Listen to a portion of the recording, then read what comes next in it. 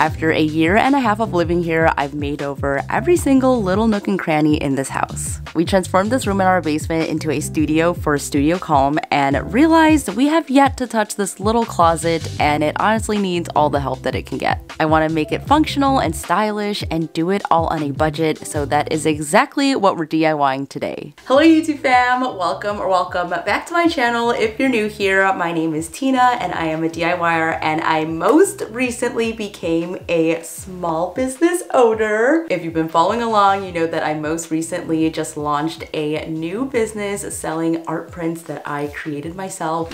One, two, three. Cardboard. Ooh, got the bubble wrapping. I think this is one of the prints. Woo! My heart's racing. Ah. Wow. This is really secure. This is very, very secure. Ooh. Oh my god, they look so good, you guys. And there's a divider too. Oh wow, Look there are dividers on each one. You guys, I can't believe this is real. The quality paper is insane. So much work has gone into these. Tina has made like so many adjustments to make these perfect and they honestly came out perfect. This oh so my crazy. god, I'm so excited, you guys. Introducing Lotus Bloom. These are beautiful. You did such a good job, hon. Thanks, babe. I first of all want to say thank you guys for making it such a success. The launch was amazing and you guys showed me so much love. We have sold basically 70% of my prints, which is just so huge to me. So uh, thank you guys for ordering. If you would still like a print, it is not too late. I will have the website info right here. In my last video, you guys saw me make over this whole entire room and now it's looking pretty good. We are still figuring out our workflow with everything. And this week we are going to work on a spot that I totally neglected because it just seemed too overwhelming for me. So this week we are actually going to tackle it and you guys know that I love to basically make use of every nook and cranny in my house. This area definitely needs a makeover so I'm excited to get into it this week. I also want to thank Fiverr for sponsoring today's video. They have been such a huge help in just making this whole launch happen. We're going to show you all the behind the scenes of what it looked like on launch launch week, so I hope you guys are excited. I'm gonna go ahead and turn you guys around and show you guys the area that we're working on. So here it is, the space in question this random closet that is in here. It is very much unfinished. At least to me, it feels unfinished because there's no lighting in here. There is a rod some of these planks that I just love so much and then more of this blue color. And also in here is just like a big tube which does not look very great so I need to camouflage it somehow because from the outside you can see it a little bit and even this trim right here what is going on. As you can tell, it's really dark in here, but the plus side is there is an outlet in here, so I would love to actually put a little bit of lighting in here. One of the things that we noticed while we were shipping orders is that we really do not have enough tabletop space. So I think putting everything in here is really going to free up some space and also just make a nice little command center. But as you can see, we have these shelves right here, which are definitely covering this. I'm still trying to figure out how to configure this room, especially since we're in the basement. There are two windows that are kind of in the way. So we'll see what we can do to actually make the room feel a little bit better, especially now that we're going to utilize the closet. Hello. I brought in some reinforcements. We need to get rid of this. It was my little pull-up system. No, I'm just kidding. I would break this. It's currently stuck in there and it looks like they put in a wood device oh my god. This is why Tina explains the videos. They put a piece of trim in here and they place one side of the pole in here. Brad nailed it in and did the same to the other, so you can't slide this out. It makes as much sense to cut this in half. Not sure if that's right, the expert's opinion. I feel like you could just hang on this and it will literally break. Brian really just wants to use a saw right now. I'm gonna get out of the way. I tried. No, you didn't!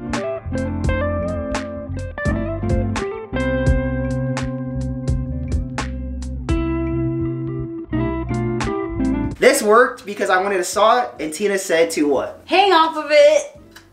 Let's see. ah! Whoa. There we go. What are you doing? warding off the mountain lions. Success! Okay, so this is how it's looking. I think I want to keep the wood and kind of make it look like shiplap. I think it'll be nice because it'll give this a little bit more character and I don't have to do any extra work. All I have to do is just paint on top of this and then sand parts like this. But yeah, I'm gonna go through and basically fill up some of these holes and things so it looks a little bit more seamless. And also I'm thinking about bringing a little bit more green into this. What do you guys think?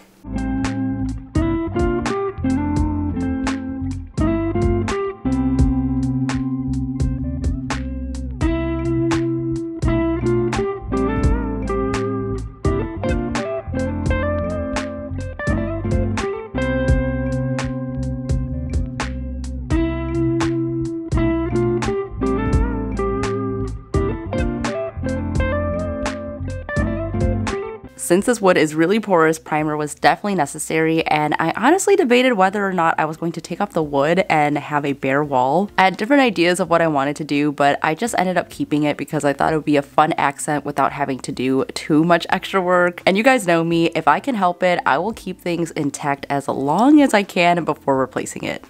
We are primed and ready to go and if you guess that I'm going to paint it green then you would be correct because I really want to tie this back to the accent wall that we have across from here and I think it'll look really nice with the wood tones that I plan on putting in here as well. A bunch of you asked which color that I'm using and it is Gladiator Gray by Behr. I don't know why it's called gray when it is a green. This is the same green that I used in our bedroom before we just recently refreshed it and I just absolutely love it. It's a really good dark green.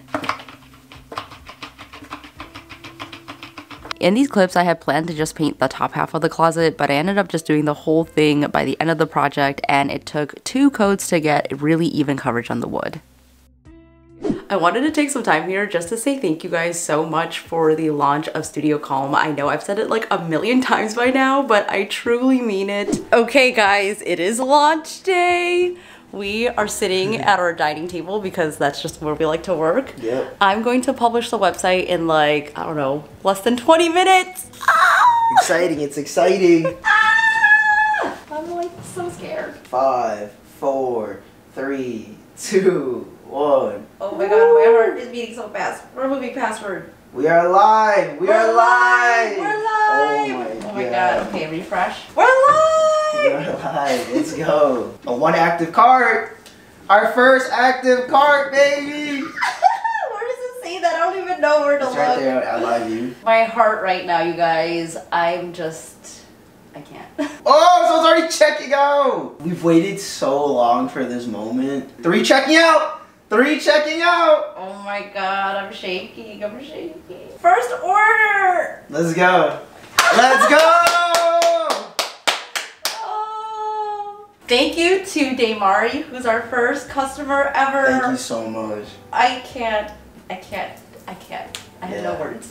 the days leading up to it, I was just so nervous. So just getting all of your kind comments and messages really helped me calm my nerves and get through the launch day. We spent a lot of time prepping and packing and it honestly was a lot of fun for me. Brian absolutely loves doing repetitive work. So he was having the time of his life just packing everything. Like that is literally his dream job, just packing orders and doing things one by one. I think the most surreal moment for me was just mailing it out and then seeing you guys actually receive your packages. Like it honestly warmed my heart so much. I want to give an extra big thank you to everyone who ordered. That honestly means the world to me and we still have prints up on the site if you guys would like one or you could stay tuned for a little giveaway that we're doing which is open to international viewers. So I will give you guys all the details and again I just want to say thank you guys and I also want to thank Fiverr for also helping me make this all happen. We honestly could not have launched Studio Calme without getting some extra help. I am someone who's very visual. I have big ideas, but I honestly don't know how to make them happen sometimes, especially when it comes to graphic design skills. That is something that I am really lacking in. So if I can hire someone who's an expert at it, I definitely will. I use Fiverr all the time, both for personal and also professional projects. It is such a great resource. And if you're not familiar with Fiverr, it basically connects you to freelancers that offer different digital services. They made it super easy to find and communicate with freelancers. So even before you hire them, you can chat them and get any of your questions answered, which is what I like to do before I start any of the projects. So I actually made the logo myself, which I'm very proud of, but I definitely needed help with actually building out a brand. So I had some colors in mind and that was basically it. So I went to Fiverr and I hired a graphic designer to build out a brand guide for me. So with my graphic designer, we were able to come up with this brand guide, which honestly just looks so amazing. It looks so polished. I have all of my brand colors here. I also have a pattern that I can use for different social media posts. They gave me all the elements that I needed and they also helped me create the sticker for my packaging, which I think looks amazing. Once I had that, I took the guide and I brought it over to a web designer who really brought my vision to life. I sent them inspiration, what the brand was about, the products, and they just took everything and made this beautiful website. Like once I saw this, I could not believe that this was for our brand. So many of you said that you love the website and I honestly just could not be happier with it. So I'm really glad that I was able to get someone to help with that. I just really love how everything came out. So if you guys want to check out the freelancers that I use, I will link them below for you. And if you guys would like to check out Fiverr, I do have a link below for 10% off of your order. So make sure to click and use the code TINA.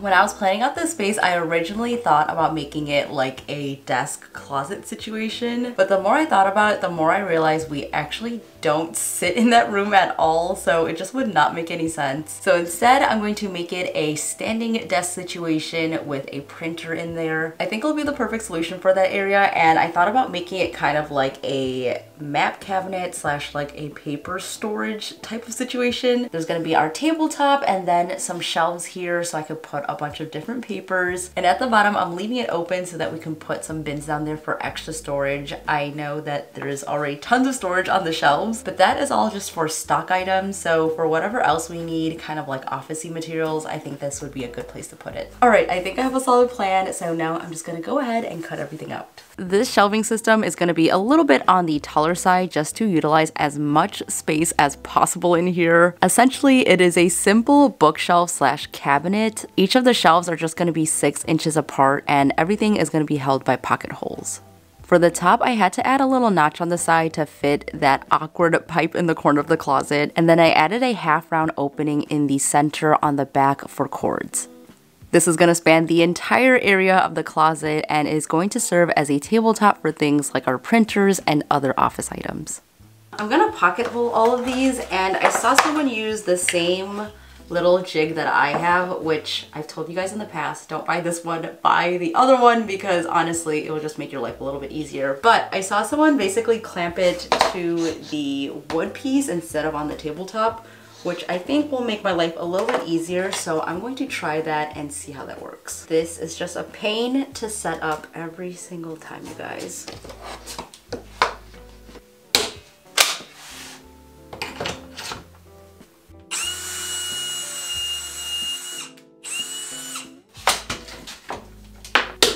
This is already a lot faster and I'm only on my second hole.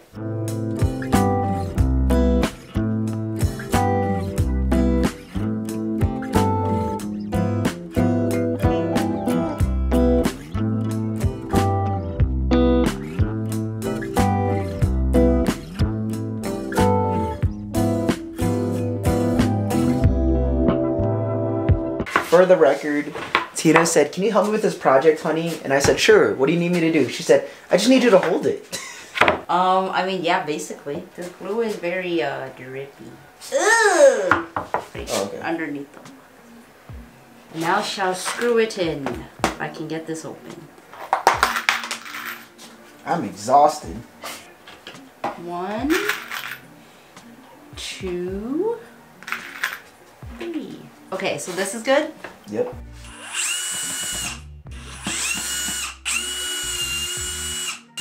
We found it easiest just to assemble it in the studio. That way we did not have to move it across the entire basement. The little spacers that I made were really helpful. That way I didn't have to measure every single time and I made sure everything was leveled. And you basically just want to add it row by row until you get to the last shelf.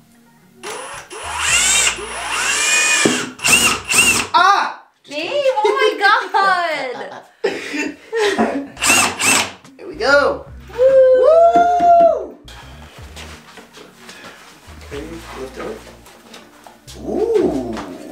Okay. Oh. Yeah. Keep going. I'm like, I made sure it was gonna fit. Okay, it'll fit. Wow, what the heck? That's like Ooh. a perfect fit. You want storage? You got storage, baby.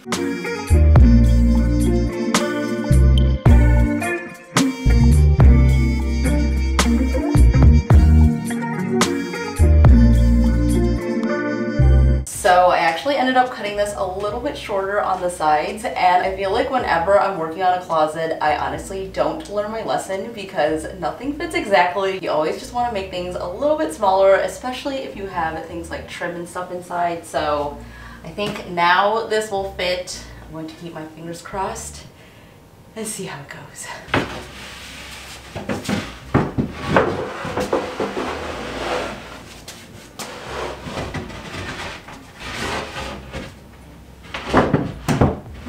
Yay. I did it, you guys. Wow. I really like how this turned out.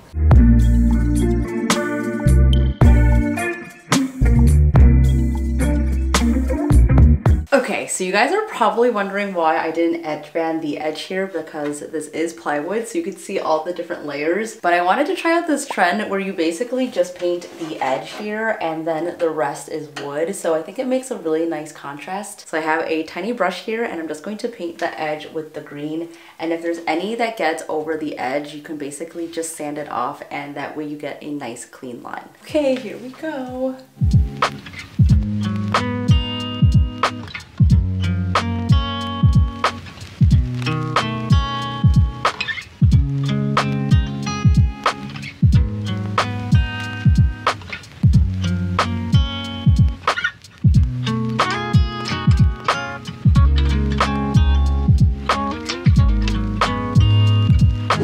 Gonna use up some of the vertical space in that tiny closet and I was thinking that I can create some shelves so I went onto the Anthro site and I found these shelves. They're a little bit too long for my space so I thought that I could just make them myself. They look pretty simple to do. I have a bunch of these hobby boards laying around and I think they would be perfect for this project. I also just really love the wood finish on this and I think paired with a brass rod it'll look really good. So I grabbed this off of Amazon and once you put them together. It just looks really nice. So I'm gonna go ahead cut these down and assemble them and I feel like these should be pretty easy to make. This project is basically just made up of four pieces of wood, a bottom, two side pieces, and then a back support piece and you can totally customize this to any size that you'd like. I didn't want mine to be as tall as the original, so I'm cutting the two sides down at 6 inches each. Then you want to find a drill bit that is the same size as the rod and drill a quarter of the way into the wood.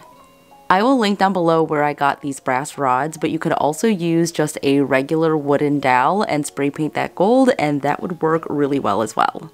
I used a little bit of glue just to keep it in place and then I figured out the size for my bottom and then the back support piece. The wood that I'm using is pretty thin, so I just used wood glue and brad nailed it together. But if you want to make something that's a lot sturdier, make sure that you use select pine or something like that and then use screws to really keep it in place. And voila, we have an Anthropologie inspired shelf done for just a fraction of the price.